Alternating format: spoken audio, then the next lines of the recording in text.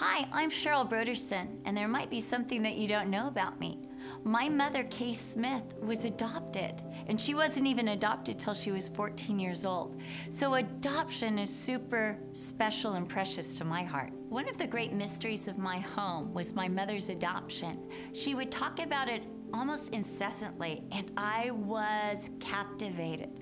Who was my real grandma? Who was my real grandpa? What is half of me? I never had the answers to these questions. But what I realized is how special it was that these two unknown people to me came together and made my mom. And my mom later was placed in a Christian home. What if she wasn't placed in that Christian home? What would have happened with her life?